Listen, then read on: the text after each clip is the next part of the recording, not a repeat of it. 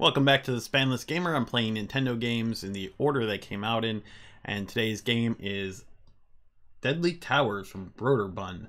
Deadly Towers, which I believe was covered by the Angry Video Game Nerd, but my me most memory of this game is that uh, when I was a kid, they had this uh, convenience store at the end of my street, and they rented a few video games, and this is one of the ones they had that I always looked at and thought about renting, but I never actually did. Um, back of the box you are young Prince Myer, setting out to defend the ancient kingdom of Willner. Rubas king of devils has built a castle in the north and is preparing to invade your kingdom. Ringing magic bells, he is calling out an army of the most terrifying creatures known or unknown to man. To defeat Rubas, you must journey to his palace and burn down his seven bell towers on your quest. You will collect weapons and armor to defend yourself against rats and crawlers, bats, snakes, and slime, demons, dragons, and more. You'll need every ounce of help you can get for you are all that stands between your people and the forces of darkness. How very cool is that? All right, so let's get right into the game here. All right, Broderbund, I think this is the first game we've played from them. Password check. Uh, sure, whatever that was. Okay, so I'm a goofy guy who can throw his sword. Not a very good use of your sword throwing it, you know. You only have so many.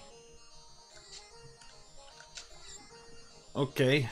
Leave me alone. What are you... Ugh. Stupid fireballs. First enemy of the game takes like six hits to kill. And he knocks you back. Yeah, I'm half dead already. I'm just gonna go through this door I saw over here.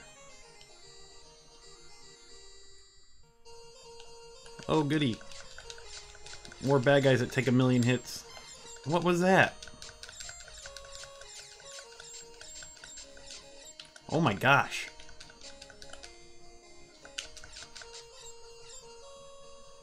I can't. Oh, there's stuff everywhere. And I'm dead. Where do I start? Game over. well, there's the password. So, I think that's all of that game. I'm glad I never rented it as a kid. Graphics, a 2, sound, a 1.5, music, a 1, story, a 1, controls, uh, a 1, funness, a 0, does it hold my attention? Nope. Overall, we're going to give this a 1.5. That was Deadly Towers for the NES. Don't forget to like, subscribe, and check me out on Patreon. We'll see you next game.